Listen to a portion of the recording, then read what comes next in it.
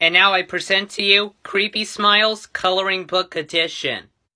Is that the Creepy Smiles? You have no color.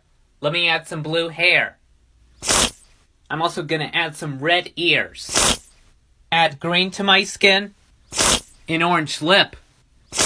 And purple eyes. Let's add some more color. Too bluish. Too fancy. Too stylish. Too weird.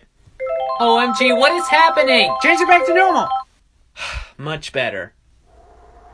Oh, you are now the rainbow.